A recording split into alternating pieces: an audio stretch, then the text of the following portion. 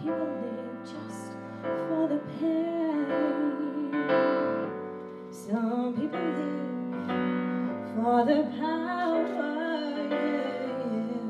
Some people live just to play the